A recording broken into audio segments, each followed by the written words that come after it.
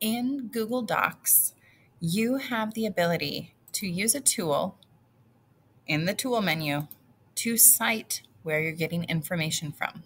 Now, you can use the MLA, APA, or Chicago. English usually asks you to use MLA, so we're going to add a citation source.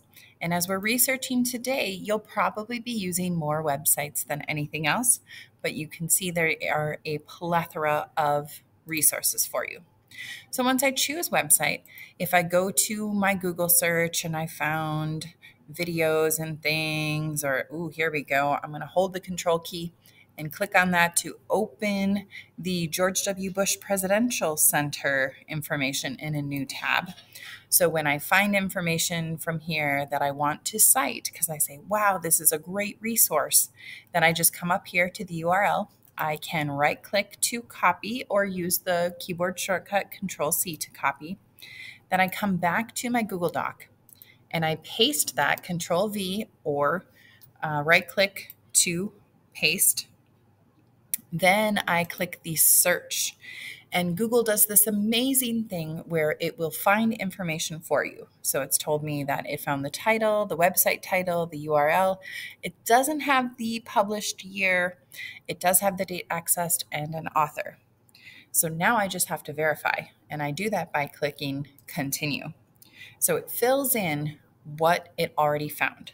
And now it's my job to go back to the website and read Okay, up here I see that it says it's an essay by essay by Sarah Churchwell. So I come back, Sarah Churchwell. Okay, there's no other contributors. If there were, I could click that button um, to add an author, but I'm not going to do that. If you have another contributor who is a corporation or organization, you can tick that box to change that. Um, if you screw up, you just delete, right? Um, next, I check the title. A Brief History of the American Dream. A Brief History of the American Dream. That looks correct to me. Then we have the website title George W. Bush Presidential Center.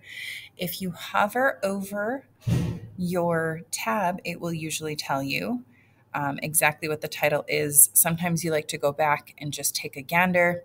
This looks like it's actually the George W. Bush Institute. I don't see anything about a presidential center. So that's interesting.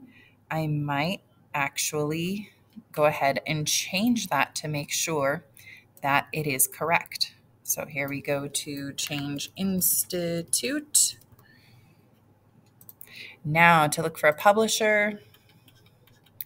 I don't think I saw any. That would likely be at the bottom. Doesn't look like it. We just have our author and her full bio available.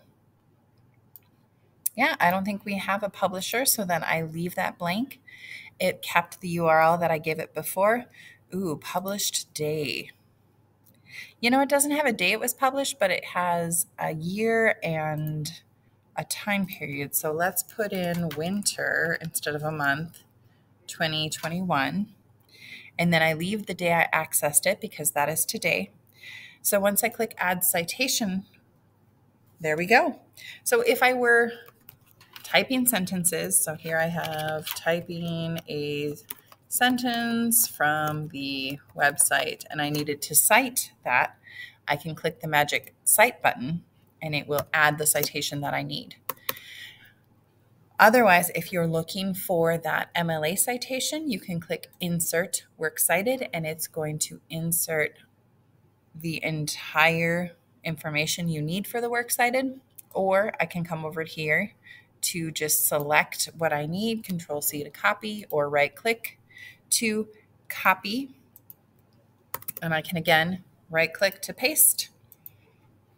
And it's the same thing, it's just not double spaced. So if you need to cite information, Google Docs has your back. Just go to that Tools menu, click on Citations, and that will open this up. Make sure you choose if you want MLA, APA, or Chicago.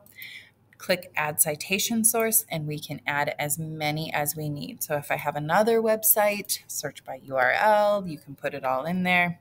Oh, whoops, that's from before. Um, so let's just steal this URL. This isn't going to work very well. But for all intents and purposes, search, then we click continue. You have to verify this. Once you're done, you click add citation source. So I hope that is helpful. Remember that Google Docs is magical. Let me know if you have any other questions or video suggestions. Thanks for watching.